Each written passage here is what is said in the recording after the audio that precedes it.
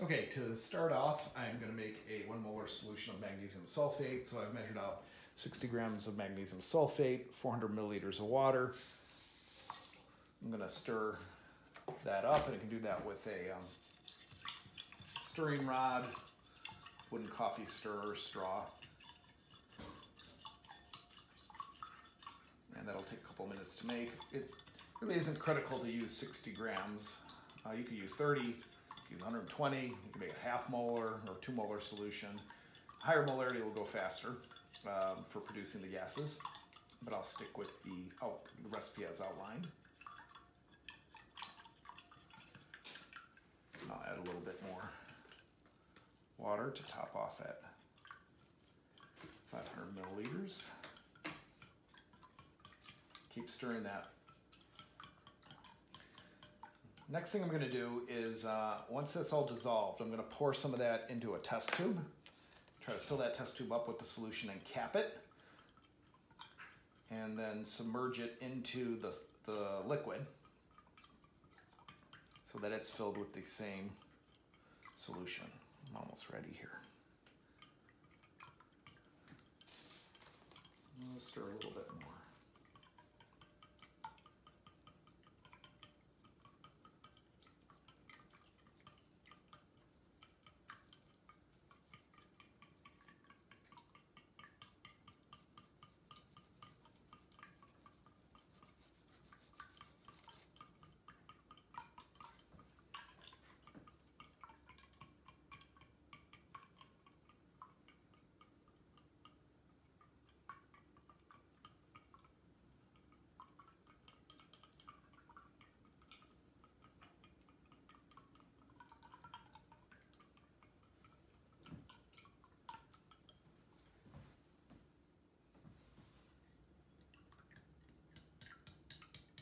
Okay, I got my magnesium sulfate all dissolved. Next thing I'm going to do is pour some of that into a test tube. Fill it up and cap it. With it capped, I'm going to then flip it upside down, submerge it in the liquid, and with my other hand, remove the bottom cork. And when I do that, if it's submerged in the liquid, none of the liquid comes out of the test tube. It's still filled with liquid. I want to repeat that for a second test tube.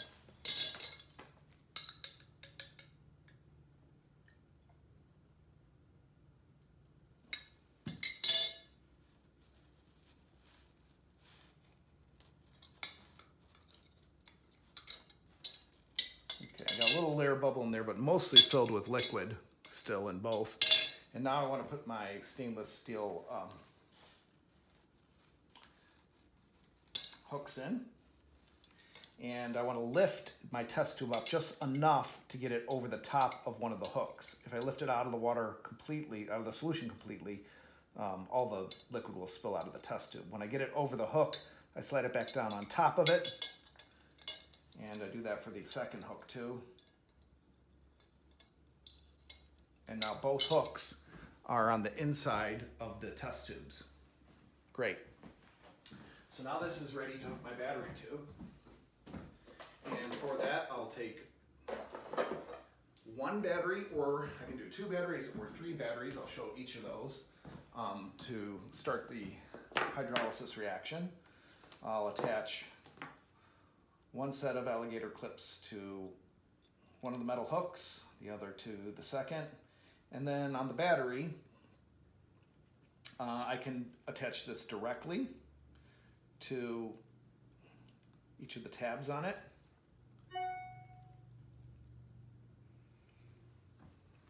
And now it's starting to bubble. Uh, I'll let this one run at uh, the rate it currently is and see how long that takes to produce a test tube that's about three quarters filled with gas and the one that is producing the gas the fastest. That'll be hydrogen. Uh, that'll leave this one a little about 3 eighths full with the other gas, which will be oxygen. I can speed things up, but it takes more 9 volt batteries to do that. And the way you can speed it up is to daisy chain the batteries together by attaching the short positive tab to a negative tab on here. Now this will be an 18 volt battery. Chain this one onto uh, either one of these, so negative to positive. And now I have a 27 volt battery and I can attach my alligator clips to these two tabs.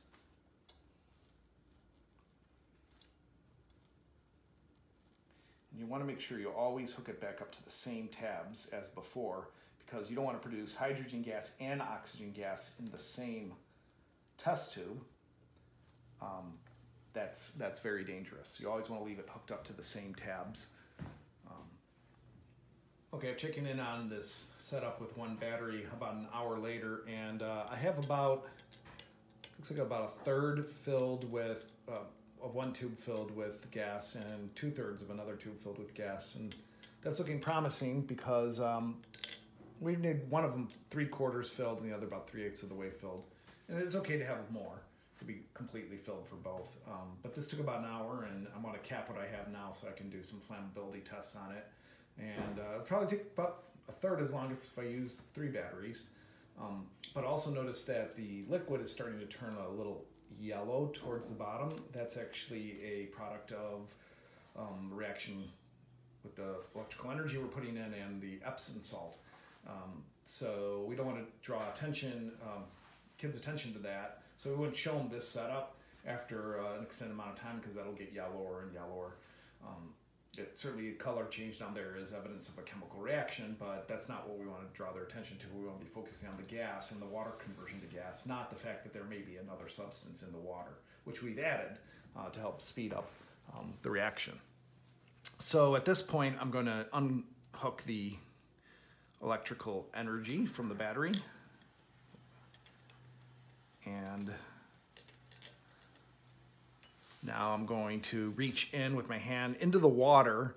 So actually I should do this. I can do this with a um, test tube holder. I'm gonna show how to do it that way. Hold on, get that. Okay, I'm back. I was gonna do that with a test tube holder and then realized there's another way to do it, uh, described in the protocol, which is simply to uh, hold the, the cap with a test tube holder and bring that down to the bottom of the container, lift up one of the test tubes a little bit off the hook, that's a metal hook it's on, and then press down on the cap.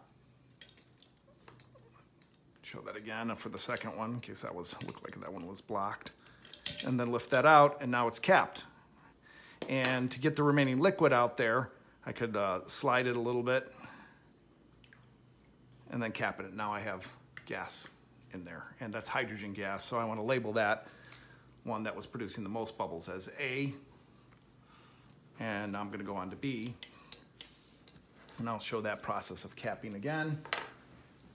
Get a new cap, put in the test tube holder, sorry, in the test tube clamp, lift this up,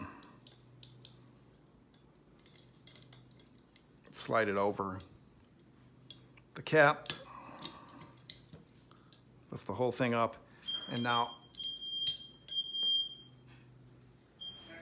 and you can take that out now. And now it's about a third filled with oxygen and I can release the rest of the liquid and cap it and I can test this. So I'm gonna compare that to if I fill them completely with gas uh, by running three batteries together for about 45 minutes or an hour.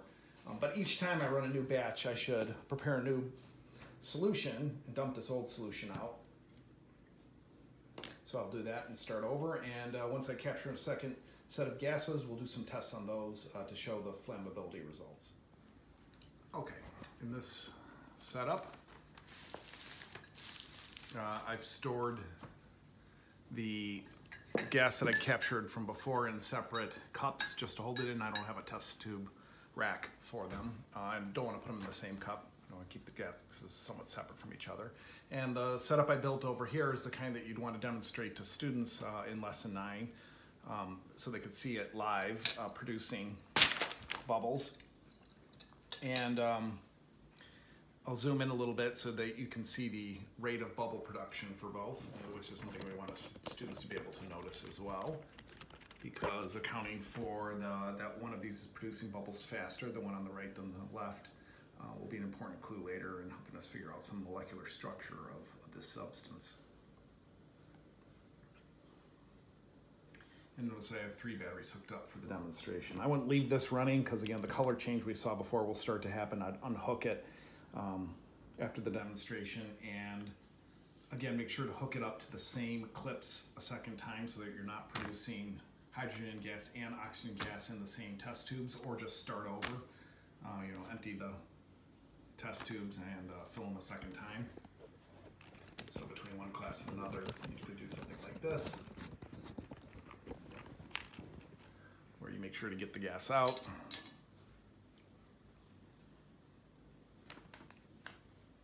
Right, do that for one.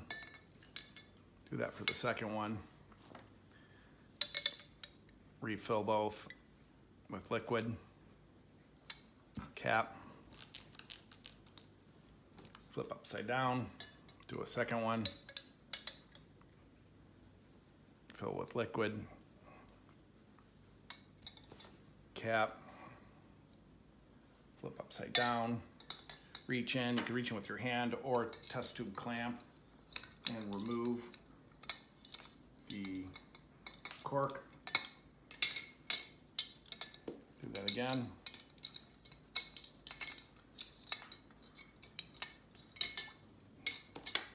Slide both of the hooks under the test tube, under one under each test tube. Make sure they're in separate test tubes. We're ready to demonstrate for another class, and now it doesn't matter if I forgot which clip uh, was on which side of the battery because I'm starting to collect the gases anew. So I'll hook them up again.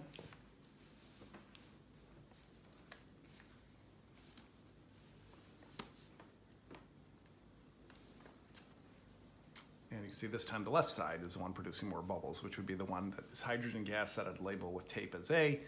And the second, one on the right, is oxygen gas, which I'd label as B. Again, the kids don't know which kind of gas these are yet until we do the flammability tests, which we'll do after I collect the gas in both of these test tubes for us so we can do two batches, these and these, and see the results. We have the tube labeled A, which is the one that contains hydrogen gas. I'm going to demonstrate what the effect will be when we put a lit match underneath it and release the gas. Here's the match.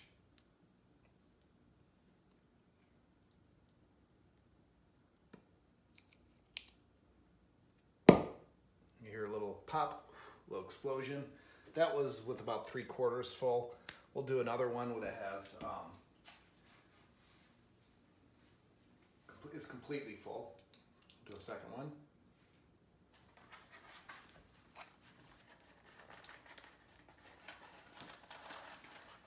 Light another match. Remove the bottom. Hear another little explosion. Okay, cool.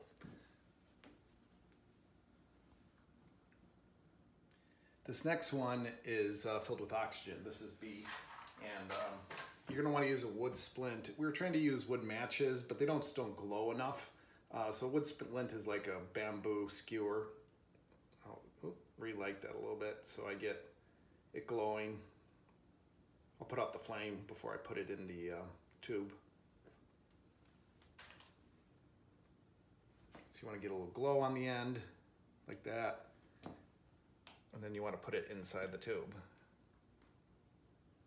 You can see it glows brighter when we do.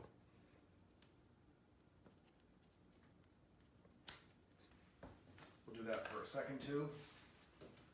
Test it again, maybe get a little bit more glow on the next stick.